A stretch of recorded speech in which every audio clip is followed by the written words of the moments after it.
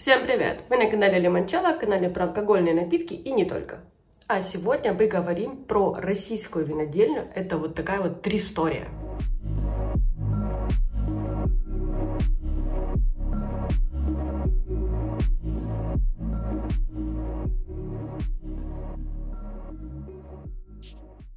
Тристория – это винодельня полного цикла в Краснодарском крае. Полный цикл означает, что на винодельне полностью контролируют все процессы создания вина, от первого саженца винограда до запечатывания каждой бутылки.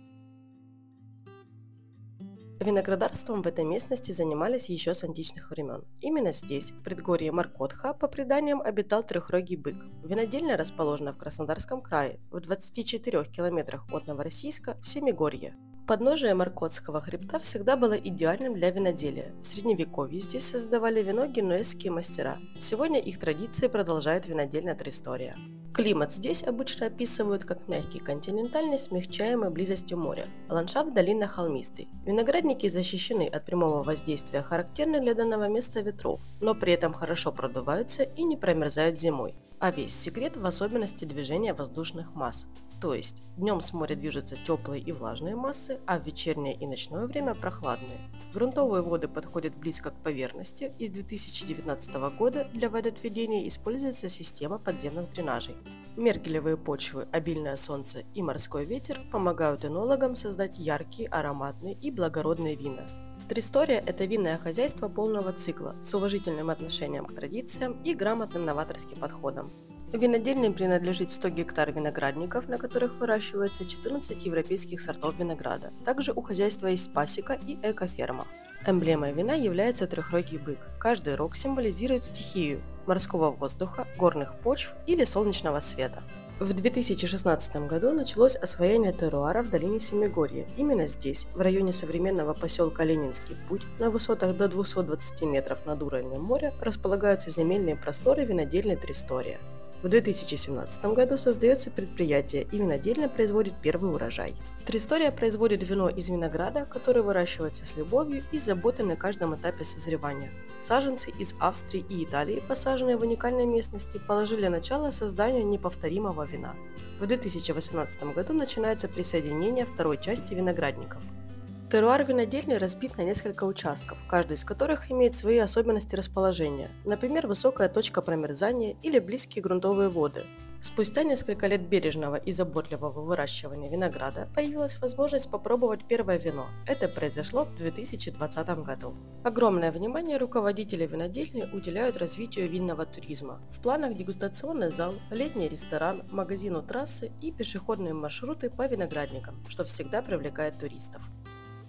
Основные красные сорта, которые произрастают на территории, это Каберне Савиньон, Каберне Фран, Блан Франкиш, Пино Нуар, Птиверде, Шираз, Мерло. Основные белые сорта – это Golden Muscateller, Грюнер Вельтринер, Геверстраминер, Савиньон Блан, Шардоне, Рислинг и Вианье. Согласно сайту производителя, в ассортимент Тристории входят следующие коллекции вин. Это Апелласьон, быки, три стихии, арт и резерв. Если вам понравилась какая-то бутылка, я думаю, вы можете самостоятельно зайти на сайт и познакомиться поближе. Но ну, а сегодня я поближе хочу вас познакомить именно с быками, потому что из данной коллекции я взяла две бутылочки на дегустацию. В дальнейшем, когда я приобрету, допустим, три стихии или апелласьоны, я расскажу поближе об этих коллекциях. Итак, коллекция быки и начинаем мы по традиции с белого, это Савиньон Блан. Вино обладает питким, гармоничным, свежим фруктовым вкусом с приятной кислинкой и продолжительным послевкусием. Белое сухое шардоне обладает приятным цветочно-фруктовым ароматом и свежим, чистым, легким, чуть даже сладковатым вкусом. Ферментация и выдержка у обоих этих вин проходят в стальных резервуарах, а виноград, кстати, собирается вручную.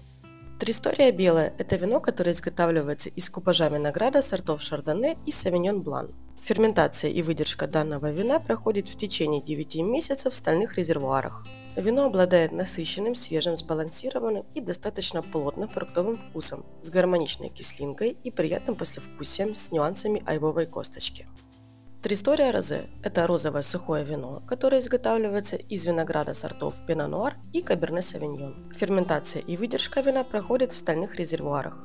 Данное вино обладает насыщенным, сбалансированным, свежим и ярким вкусом с обилием фруктово-ягодных оттенков, живой кислинкой и приятным сухим послевкусием. Тристория Мерло – это красное сухое вино, которое изготавливается из собранного вручную винограда. На винодельне проводится тщательный отбор и сортировка. После гребня отделения ягоды мягко прессуются. Винификация включает длительную мацерацию на кожице и ферментацию в емкостях из нержавеющей стали. Часть вина, это около 15%, выдерживается во французских дубовых бочках в течение 15 месяцев. У Мерло мягкий и гармоничный вкус. Оно такое сочное, свежее, с кислинкой, бархатистыми тонинами и пикантно-древесными пряными оттенками. Так, и последнее вино в данной линейке, насколько я знаю, это Тристория Каберне Фран. Это тоже красное сухое вино, виноград здесь собирается вручную. На винодельне проводится тщательный отбор и сортировка. После гребня отделения ягоды прессуются. Винификация включает длительную мацерацию на кожице и ферментацию в емкостях из нержавеющей стали. Часть вина, а именно 40%, выдерживается во французских дубовых бочках в течение 15 месяцев. Вино обладает насыщенным, сбалансированным, сложным и богатым вкусом с нотами темной сливы и зрелых ягод.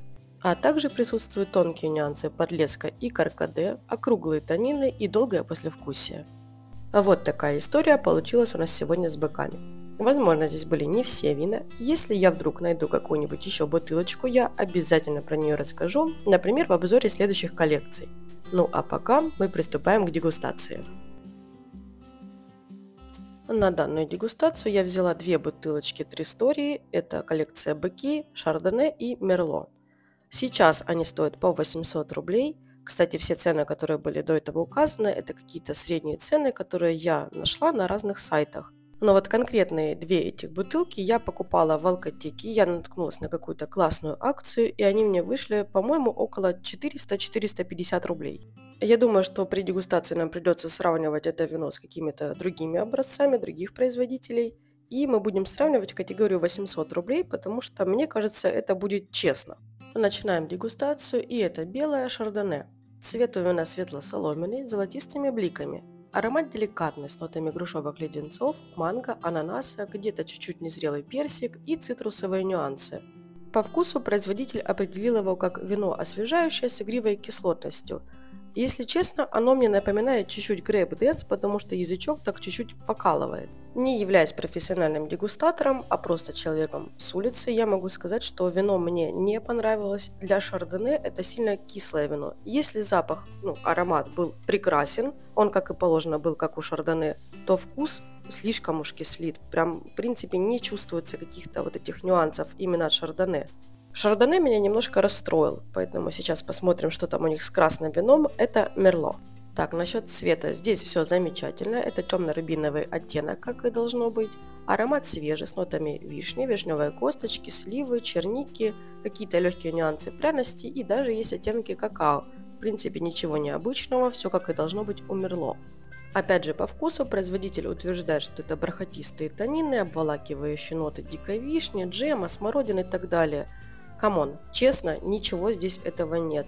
Оно супер танинное, такое ощущение, что если просто вот закрыть глаза, я пью не Мерло, который я очень люблю, а какой-то Каберне Савиньон. Я еще раз повторяюсь, я не являюсь ни сомелье, ни дегустатором профессиональным, ни даже кавистом. Я просто человек с улицы, который купил, ну вот если по полной стоимости за 800 рублей вино и хочу им насладиться – в данной ценовой категории я считаю, что есть намного достойнее экземпляры, например, та же самая Tagua из Чили или Домен де Медиан из Франции, они действительно классные. Да даже далеко ходить не будем. Вот у нас в Волгограде есть замечательная винодельня Покровская. Я пробовала у них тоже Мерло. Там, в принципе, почва не предназначена для винограда. Они все, ребята сами завозили, да сами закупали. И то классное вино.